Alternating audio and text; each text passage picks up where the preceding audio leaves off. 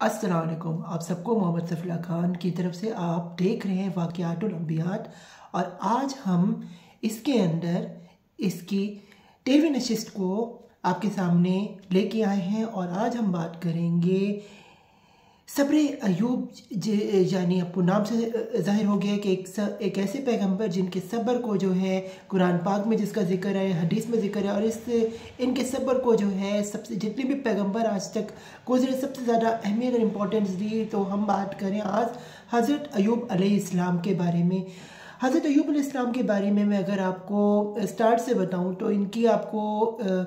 इनका थोड़ा सा मैं आपको इनकी जनरेशन के बारे में बताऊँगा। तो ये हज़रत इब्राहीम इस्लाम की चौथी जनरेशन से आते हैं और इनकी लड़ी कुछ इस तरह से कि हज़रत इब्राहीम इस्लाम उसके बाद हज़रत इसाक इस्लाम फिर हज़रत याकूब इस्लाम और उसके बाद जो है हज़रत अयूब इस्लाम तो हज़रत अयूब इस्लाम जो हैं, ये जो हैं, ये हज़रत याकूब इस्लाम की ही औलाद में से यानी कि ये ये भी बन इसराइल ही का एक आपको एक एक हिस्सा लगेगा, एक एक ट्री लगेगा। तो ये जो ट्री है, इसमें हज़रत, जो अयूब इस्लाम थे, वो एक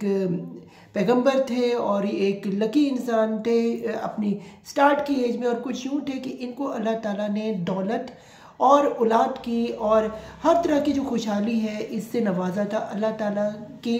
इन पे ब्लेसिंग थी और इसी वजह से जो था, इनके, इनका जो इलाका, इनकी ज़िंदगी में खुशहाली थी और एक बेहतर ज़िंदगी थी और एक एक अच्छी ज़िंदगी बसर करते बाकी आपको और पैगम्बरों की ज़िंदगी का पता है, उनकी ज़िंदगी मुश्किल आई गुर्बत थी और बकरी चलाते थे और और छोटे छोटे काम करते थे। लेकिन हज़रत अयूब इन सब में सबसे रिच डॉलर की भी सूरत में और माल की भी सॉरी और बच्चों की भी सूरत में रिच थे। अब होता कुछ यूँ है कि शैतान जो है, आपको पता है, हर जगह आ जाते तो इस दफ़ा भी शैतान आता है। और इनको तंग करने के लिए अल्लाह ताला से कहता है कि मैं कुछ ए, ए, कि अभी तो जो हज़रत अयूब अलैहिस्सलाम इनको आपने सब कुछ दिए तो ये आपका शुक्र अदा करते क्योंकि मैं आपको ये भी हज़रत अयूब इस्लाम के बारे में बताऊँ तो ये हर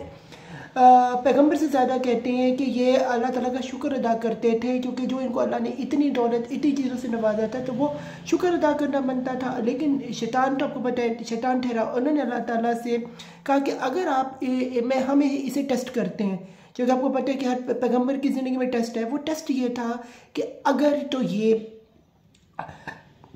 इनकी दौलत और इनकी जो है औलाद अल्लाह ताला छीन लेता है, क्या फिर भी ये अल्लाह ताला का शुक्र अदा करते हैं या नहीं? या फिर ये जो है इससे दस्तबरदार हो जाते हैं? तो ये टेस्ट करने के लिए अल्लाह ताला, जो कि आपको पता है, अल्लाह ताला का काम है कि ये अपने पैगम्बरों को जो इसके बरगुजीदा होते हैं पैगंबर उनको यकीन अपनी ज़िंदगी में आजमाता है। तो अल्लाह ताला ने यही किया। कहा जाता है और कई रवायात में ये है कि इनको जो है इनकी बॉडी पे फोड़े आ गए हज़रत अयूब अलैहिस्सलाम और फिर उनमें से कीड़े निकले और इतना इनकी बॉडी जो थी ख़राब हो गई कि जितने भी इनके घर वाले थे और इनको छोड़ के वहाँ से चले यहाँ तक कि इनकी बीवी भी। उसके बाद एक रिवायत में ये भी आता है कि, कि इनको कूड़े कूड़ेदान में भी फेंक दिया था और वहाँ से भी सात साल तक वहाँ पे पड़े रहे और चार तकरीबन बारह साल जो था टोटल इनको जो है बीमारी लगी। और इस बीमारी को जो है और कहा जाता है कि इसी बीमारी का जो एक कीड़ा है जब ये ए, ए, पानी में फेंका तो ये जो आप आज झींगा खाते हैं तो ये यानी जैसे अंग्रेज़ी में प्रॉन्स कहते हैं उसे आप खाते हैं तो वो इसी ही बीमारी से निकले। तो इसलिए कुछ लोग जो है इसको खाने से जो इज्तनाब करवाते हैं। हालाँकि कोई एग्जैक्टली इसकी रवायत नहीं कुछ रवायात में ये बात आई है। लेकिन एक रवायत ये भी कि अल्लाह के जो पैगंबर हैं वो तो इस तरह के पलीट चीज़ों में इस तरह की तो चीज़ हो नहीं सकती। तो किस तरह से अल्लाह ताला इस्लाम को ऐसी गहरी आजमाइश में डालते तो आंसर जो है, हमें इसका जो हिस्ट्री में एग्जैक्टली पता नहीं चलता। लेकिन जो वाज रवायत और हरी कुरान से भी हमें पता चल, यानी कुरान पाक से भी पता चलता है, वो यही है कि ये एक बहुत बड़ी बीमारी में मुबतला थे, जिससे इनके जो बच्चे थे, इनकी फैमिली थे इनसे दूर होगी तो यकीन हम इस बात को ज़्यादा वैलिड समझेंगे। बाकी वल्लाह आलम, आगे हम आपको हज़रत अयूब इस्लाम का बताते हैं। तो हुआ कुछ यूँ कि कहा जाता है कि ये अल्लाह ताला की इतनी इबादत करते थे, इतनी इबादत करते थे।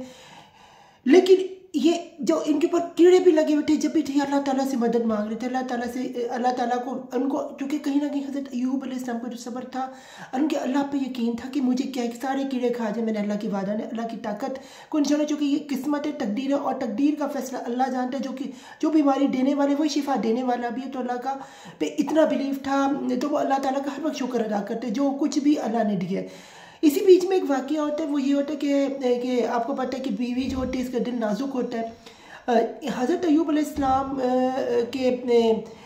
को तंग करने के आपको पता है शैतान तो हर वक्त इधर उधर से मंडला रहा होता है तो कहा जाता है कि शैतान जो है वो एक हज़रत अयूब इस्लाम की वाइफ के पास आता है और उसे कहता है उन्हें कहता है कि आप ना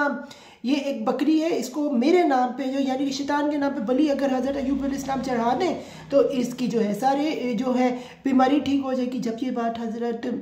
जो इनकी वाइफ हैं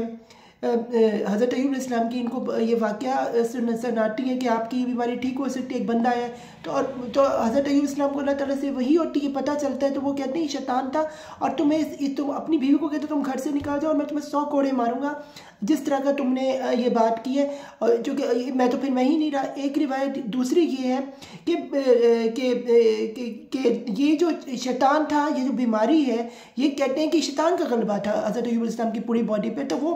उनसे उन्हें जो कि आपको पता है कि पैगंबर था तो वो उनसे पूरी तरह से जकड़ा हुआ था हज़रत इब्राहिम साहब की बॉडी को लेकिन उनके नफ्स को नहीं जकड़ सका जिसके अंदर जो हज़रत अयूब इस्लाम के एंड में जीत होती है जहाँ तक कि शैतान हार जाता है और हज़रत अयूब इस्लाम का सबर जीत जाता है। जैसे को पता है कुछ लोगों को जिन चढ़ जाते हैं और फिर उनकी जिन जो है मार के लोग निकालते हैं उसी किस्म का ये आप वाक़े से, से जो है जहमत दे सकते हैं। तो लेकिन ये एक बड़े लेवल पे था। उसके बाद चूँकि वो पैगंबर थे उनको आज़ादी मिलती मुक्ति मिलती और जब वो अब की बार जो है इस बीमारी से आज़ाद होते हैं, इस इस इस अजाब से जो है बच, अल्लाह ताला उन्हें ना बचाता है। तो वो एक खूबसूरत और एक ज़बरदस्त किस्म के हज़रत अयूब अलैहिस्सलाम जो है वो निकल के आते हैं। और अब के बाद जो हज़रत अयूब अलैहिस्सलाम होते हैं, ये ज़्यादा खूबसूरत, ज़्यादा ज़बरदस्त और ज़्यादा अमेजिंग नज़र आते हैं और कहा जाता है कि इसके बाद जब हज़रत अयूब अलैहिस्सलाम जो थे, ये सत्तर या अस्सी साल की उम्र में थे, लेकिन फिर भी यंग हो जाते हैं। और उसके बाद कहते हैं कि इनके, इसके बाद फिर इनके अल्लाह ताला दौलत और पैसों से नवाज़, अब के बाद इनके सत्ताईस बेटे और कई बेटियाँ पैदा होती हैं और यूँ जो है इनकी लाइफ जो है, ज़िंदगी जो थी, सबर सबर करने की, अल्लाह के ज़िक्र करने के से आज़ाद हो जाती है। और यूँ इनकी, इनका टेस्ट पूरा होता है कि अल्लाह ताला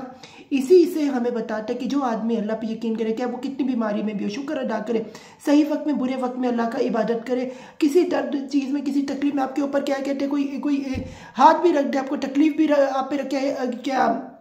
क्या आप समझें कि हाथी भी पैर रख दे तो आपकी कमर पे तो आपको सबर सबर अयूब से काम लेना आपने डरना नहीं है अल्लाह ताला के साथ पे, कोई भी बीमारी आ जाए। तो ये जो यहाँ पे कितना कितना भी बुरा वक्त आ रहा है, जैसे बुरे वक्त की किस्में होती है जैसे माँ बाप बच्चों को घर से निकाल देते हैं या बच्चे बच्चों पे माँ बाप जुल्म करते हैं या यतीमों पे भी जुल्म करते हैं। जुल्म की अलग अलग नोयरिया लोगों को बीमारी पड़ जाती है और उनका कसूर भी जैसे कुछ लोगों को एचआईवी एड्स हो जाता है यानी कि कुछ लोग जो होता है वो